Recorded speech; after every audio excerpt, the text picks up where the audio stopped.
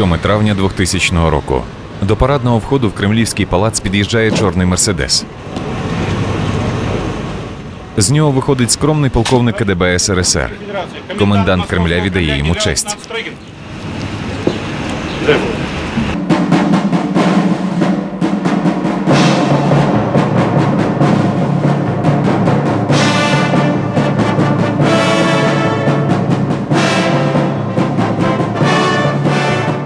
Полковник йде червоною доріжкою, відмахуючи лівою рукою в ритм маршу. Путин!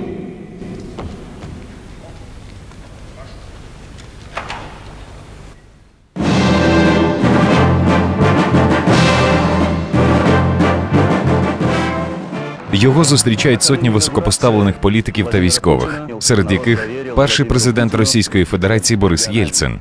Володимир Путін кладе руку на конституцію і присягає на вірність народу Росії. Клянусь при осуществлении полномочий президента Российской Федерации уважать и охранять права и свободы человека и гражданина, соблюдать и защищать Конституцию Российской Федерации, защищать суверенитет и независимость, безопасность и целостность государства. –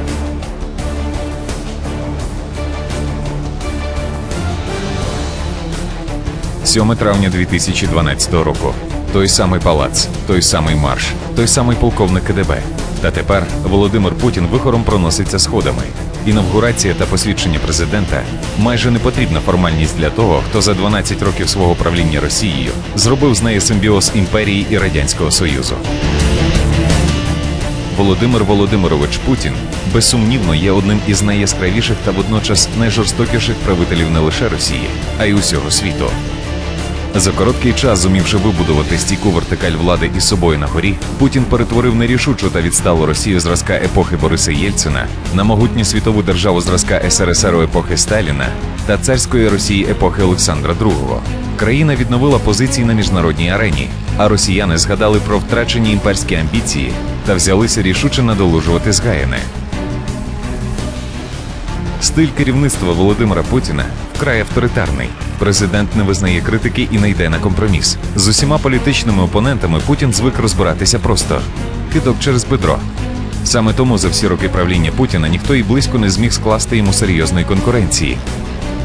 Адже і Зюганов з компартії, і Жириновський з ЛДПР є по суті тією кишеньковою позицією, яка існує виключно тому, що Путіну це треба.